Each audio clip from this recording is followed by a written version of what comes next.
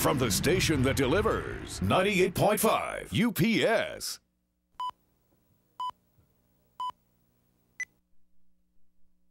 Ready for a getaway? How about a Jamaican getaway? You could win round trip airfare and accommodations for two to Jamaica. Listen to 98.5 to hear where you can sign up or log on to WUPS.com for a complete list.